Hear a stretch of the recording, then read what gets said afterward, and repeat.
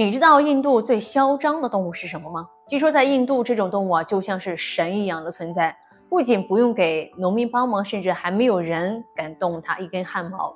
也正是由于这一情况，导致这种动物呢已经繁衍到了三亿多头的数量。那么这种动物究竟是什么呢？它们为何会享有这样的待遇呢？大家好，欢迎收看本期《梦想历史》。接下来就带大家一起来探讨一下这个话题。感兴趣的朋友们可以给我点个关注。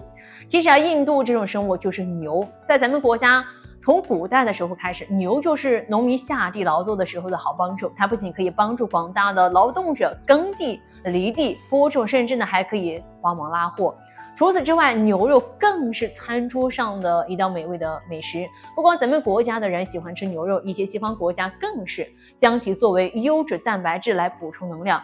不过呢，这种现象是绝对不会出现在印度的，因为牛在印度非常受欢迎，并且呢还被印度人奉为神牛。印度所有的居民不光不会吃牛肉，甚至还会在家里养上一头牛或者两头牛，以此来表达对牛的喜爱。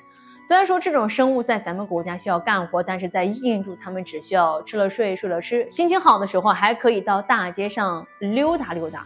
而百姓们开车上路的时候，必须也要躲着他们，一旦撞到牛的话，那可真是大事儿了。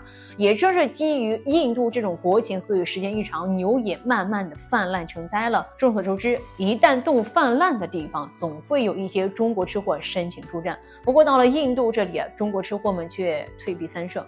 其实啊，这主要呢是因为印度的环境实在是太差了，人生活的环境都是苍蝇满天飞的一个状况，而牛生活的环境就更不用说了。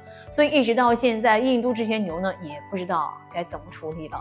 好了，以上就是本期视频的全部内容了。对此你还有什么其他的看法吗？欢迎在视频下方留言交流。我们下期再见。